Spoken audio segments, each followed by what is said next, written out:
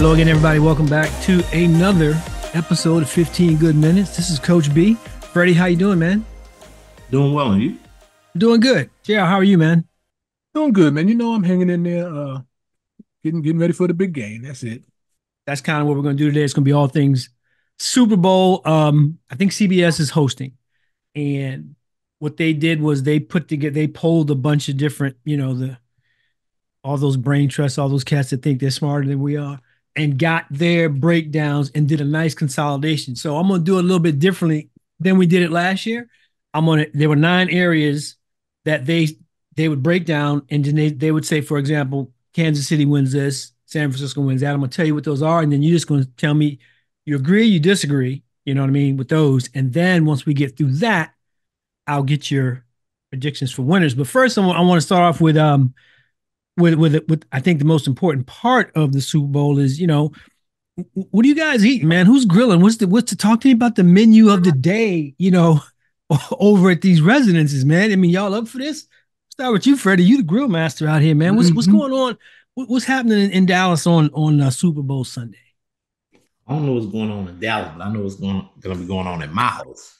right, uh, I'm probably gonna throw on some sliders, um, I've already already purchased them. Do some wings.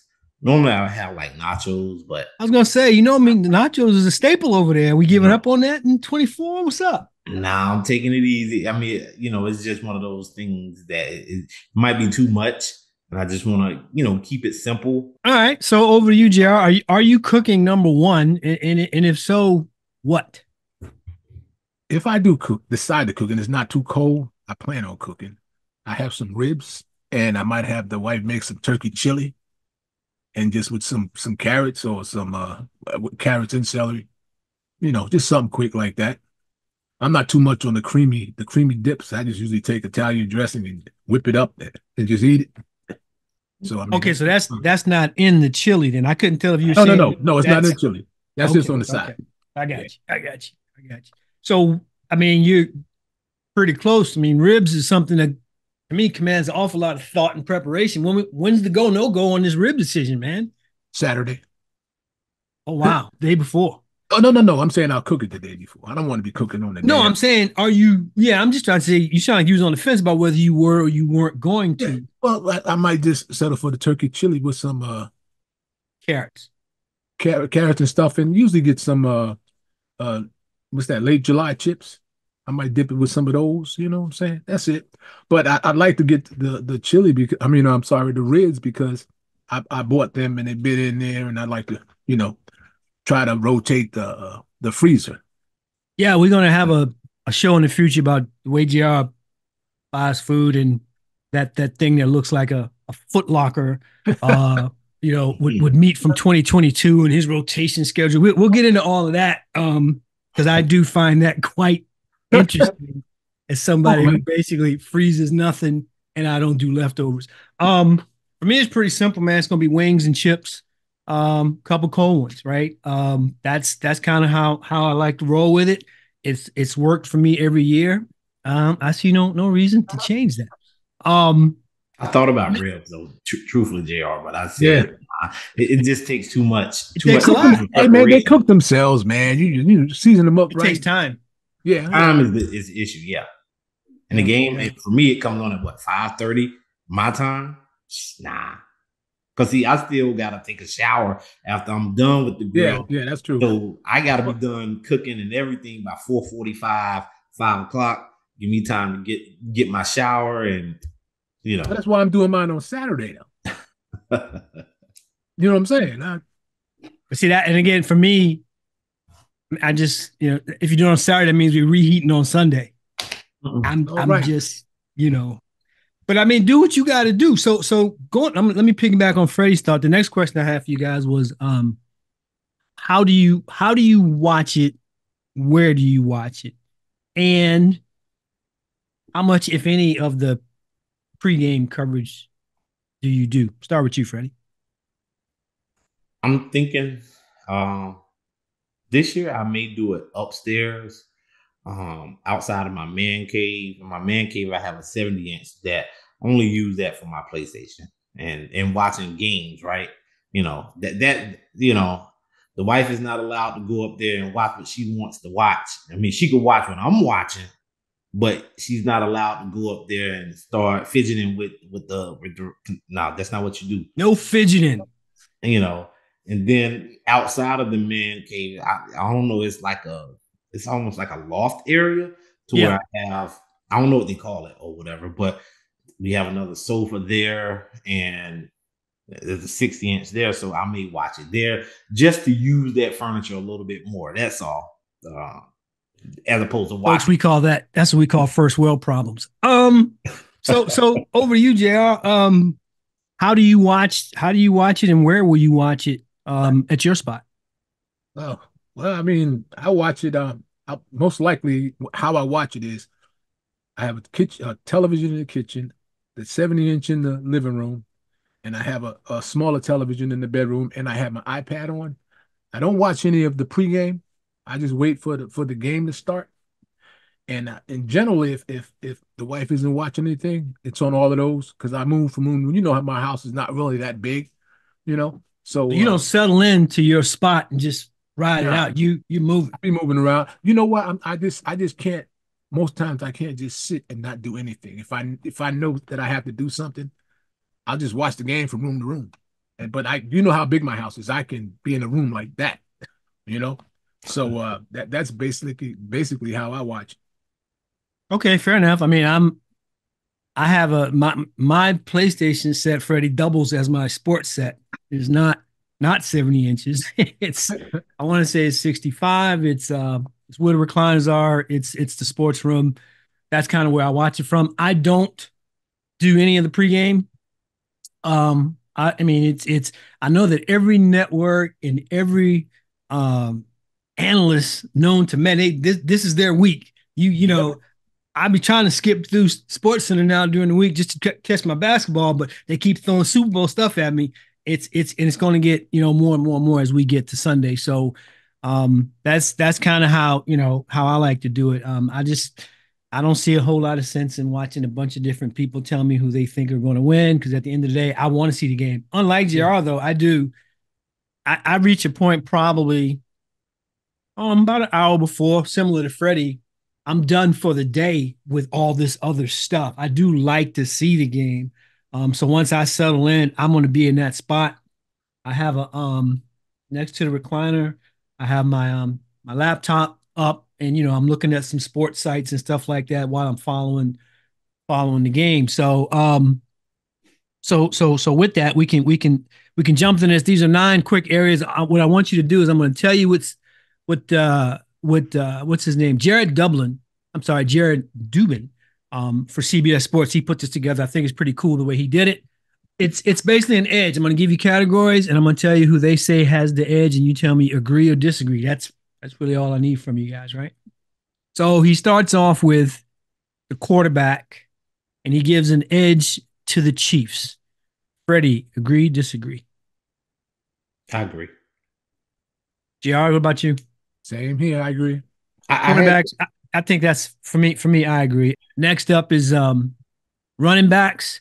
Uh, they gave the edge to San Francisco. JR, agree, disagree? Agree. I agree. Freddie? I, I have to agree. Yeah.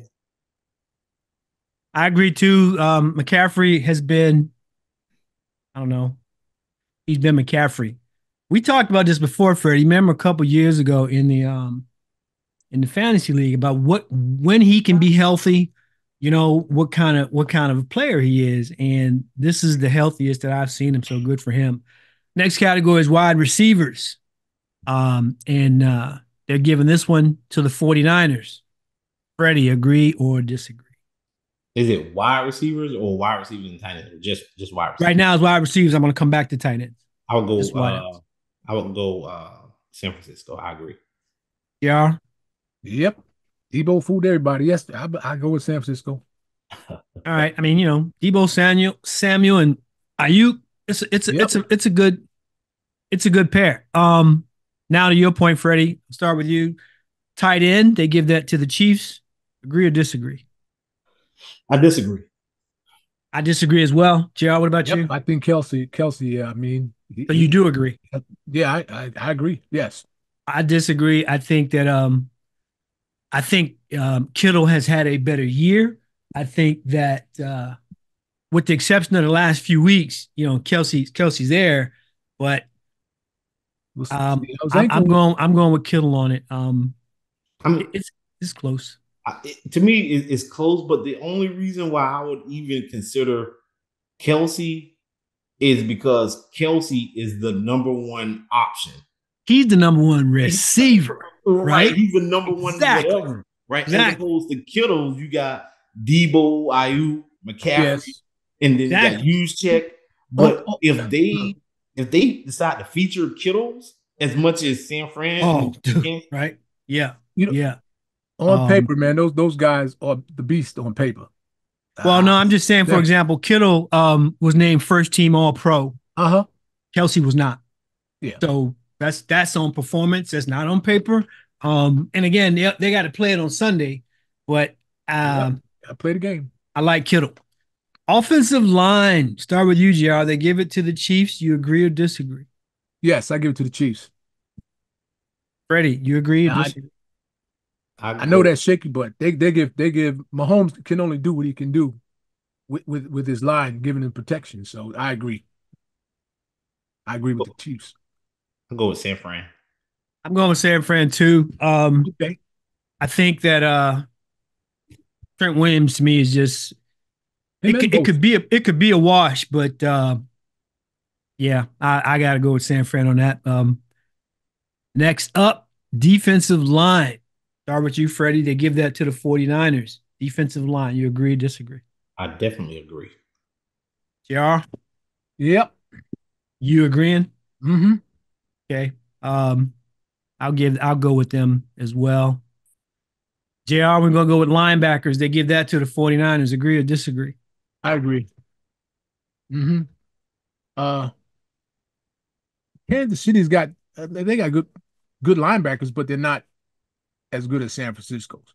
Like I said before, on paper, San Francisco is the, is the beast in this on paper, but but they got to play the game. But you're picking San Francisco's linebacker. Yes, I'm picking their linebackers. Yes, but Freddie, I agree, disagree. Let me give away my other answer.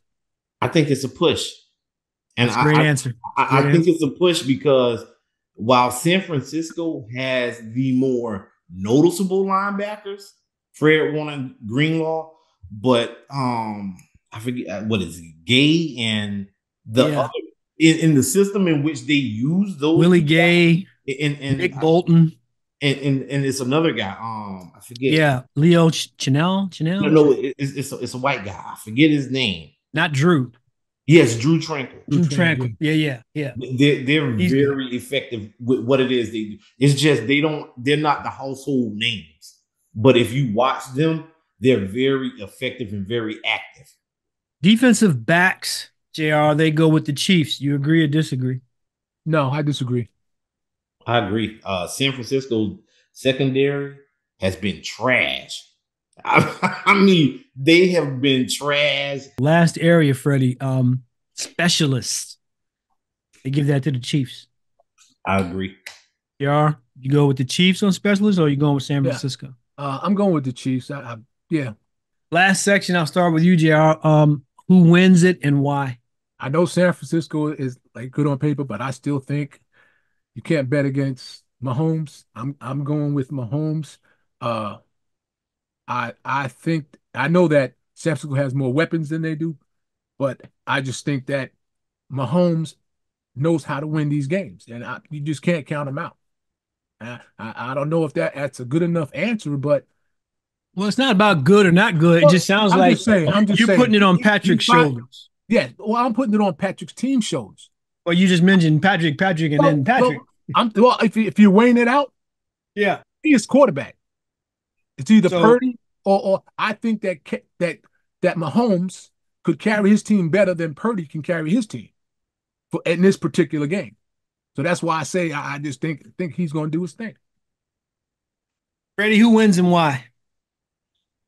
I'm rolling with San Francisco. Um, I think to JR's point, Patrick Mahomes has to carry the team.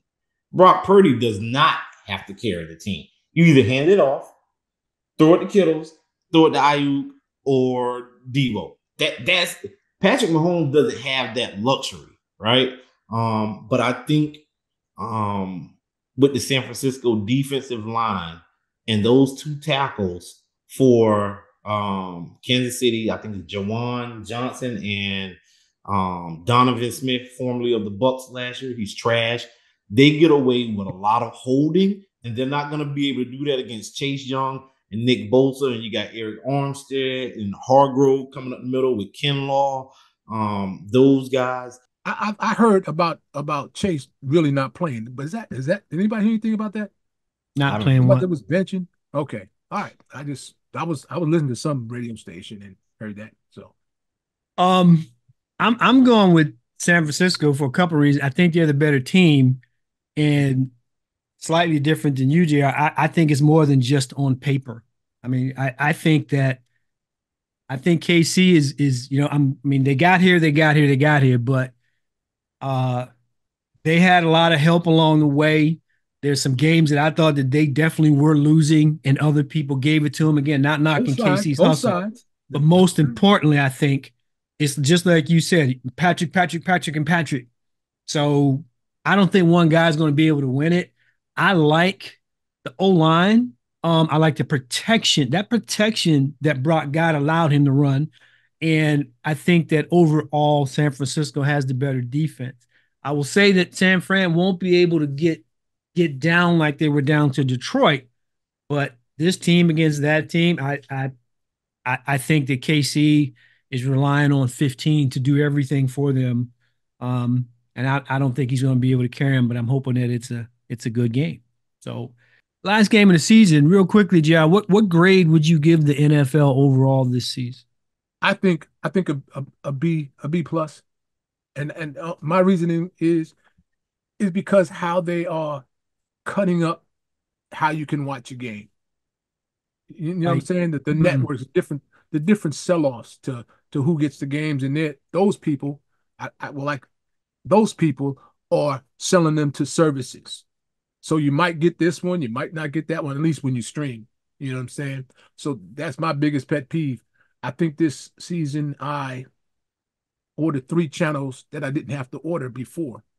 I give them a D minus for all those reasons JR listed, right? Everybody don't have Peacock, which is really NBC. That's all it is, yeah. You know, so to me, I felt like you were using you know what you what you know you know america's sports addiction to, to to line your pocket so to me you get a d minus not and i came close to really giving them an f with all this taylor swift coverage and, and, and everything that was too much um i don't have anything against taylor swift i honestly if a song came on right now i would not know if it's taylor swift or not i really i've never heard one of her songs but to me her coverage, it was just too much. I had a, I had a D pretty much for a combination of what you guys said. I start off every season with a C, right? I used to do an A and you had to earn. Now I get I'm give you average, and then I need you to go up or go down.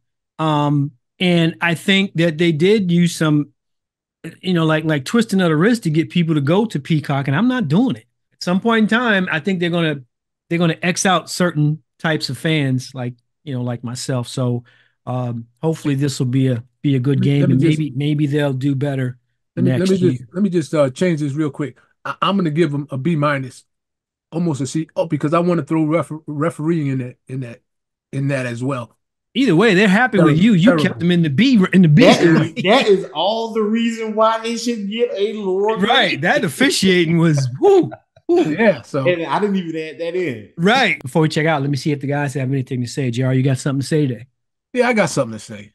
It's it's sort of a sort of a beating a dead horse. Uh, you know, a couple a few days ago, they uh, stole Jackie Robinson's statue, cut it off the off his uh, left his shoes, cut off his at his ankles almost.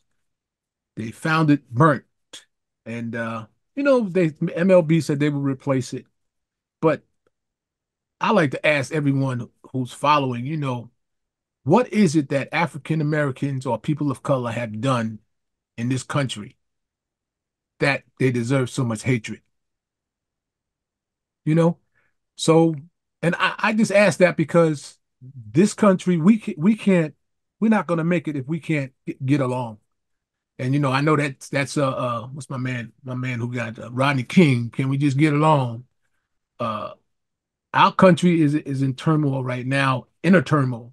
We've got uh terrorists that lives among us and claim to be uh, one thing, you know, uh, patriots and, and all other kind of things, but they're really not, you know. And I, I think that this country needs to take a real good look at it and look at your own thought process because everyone's an individual, you know. Each one of us are different people of color. We act different, just like anyone else. We're not monolithic, you know.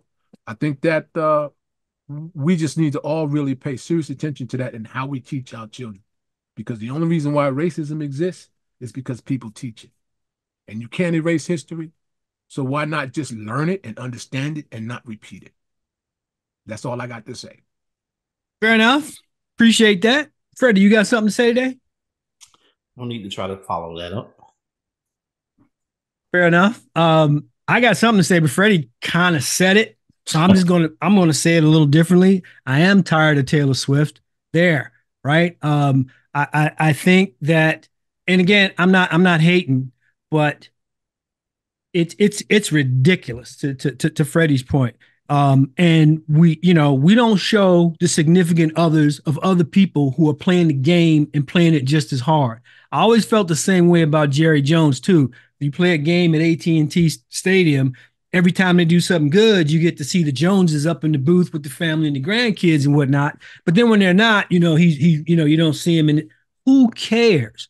Right? You gotta look at somebody like Robert Kraft. We didn't show him every time that Tom Brady did something because you know why? He's a winner. He expects to be a winner. So I'm okay with whoever, you know, Travis Kelce dates or doesn't date, but I think it sends the wrong message. And then the justification that I'm hearing, like, oh, she's she's now the conduit for little girls to like football. Bullshit. Right. Yeah. If you need if you need Taylor Swift to be your envoy for your child to learn NFL, you got problems. So let's not just let's not sugarcoat it and color it something that it isn't. They're doing it because she's famous and because you know it sells commercial time and all that other kind of stuff. But if you're not going to show, and I'm just going to I don't know who Lamar Jackson's dating, but if you ain't showing Lamar's significant other or other people's, we got to stop doing this, in my opinion. So my I got something to say is Taylor Swift might be one hell of an entertainer. I know she's a Time Magazine's Person of the Year, but I'm tired of seeing her at NFL games. And I know every game. I know that Freddie, there's an over under right now of how many times we're going to see her on Sunday, right? Mm-hmm. And I think the over under is is 10, right? That I mean, that's literally a betting line in Vegas. Mm-hmm. Just throwing big money. Is, are you going to see her on screen with CBS more than 10 times or less than 10 times? So I mean I, during the game or just overall? During the game.